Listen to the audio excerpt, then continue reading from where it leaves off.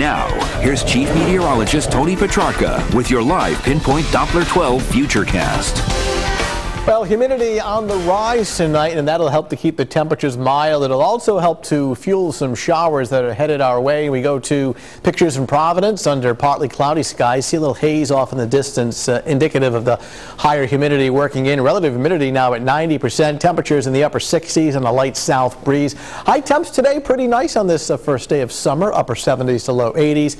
I would say about 5 or 6 degrees cooler for tomorrow. Reason why clouds will be on the increase. In fact, you can see some of the patchy clouds on the satellite photo right now. Most spots are in the mid and upper 60s, though New Bedford uh, still at 70, so all locations a mild night. It is a nice, comfortable uh, summer night. Newport now at 67. Take a look at the satellite and the radar composite. You see a few patchy clouds, but generally quiet weather across New England. You see the leading edge of some scattered showers off to our south and west. Let me widen out the view and spotlight the next system that's uh, headed our way. You can see an area of moisture across the upper Midwest and the Great Lakes. This is a slow moving system. As it approaches New England, uh, it'll set off, uh, you know, occasional showers and thunderstorms. In fact, to go from here to here may take until Saturday. That's how slow it's moving and why uh, things will be unsettled over the next several days. So for the overnight hours, partly to mostly cloudy, mild and humid. There may be a little bit of patchy fog near the water with that high humidity. 5 o'clock in the morning, 64 degrees. Clouds and fog early in the morning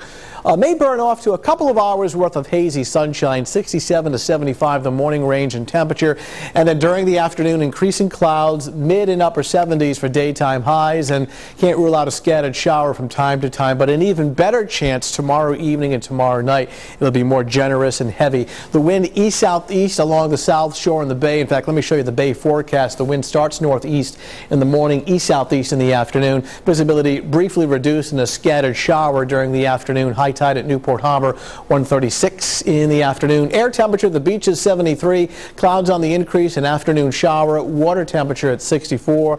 Uh, northern suburbs will probably top out somewhere between uh, say 75 and 77. Clouds on the increase and a uh, passing shower out across southeastern Massachusetts. Temperatures range from the mid and upper 70s. Taunton 77, New Bedford 75, as well as Middletown and Little Compton coming in at 74. So here's the breakdown. The uh, stretch of unsettled weather starts tomorrow afternoon. Heavy rain and thunder likely uh, tomorrow night and the risk of scattered showers and even some thunderstorms both Thursday and Friday. Very humid temps in the mid 70s. And because this uh, weather disturbance is moving very slowly. Have to keep the chance of a shower in here on Saturday up to 80, then better on Sunday, partly sunny skies in 81 and overnight lows in the mid 60s. Hopefully we can iron out some of the details on that weekend Futurecast, the big air show at Quonset Point uh, this weekend. So uh, stay tuned, but uh, keep the umbrella nearby, especially by tomorrow afternoon, tomorrow night. Mish is in tomorrow morning at 5 a.m. with your updated Futurecast. All right. Thanks, Tony.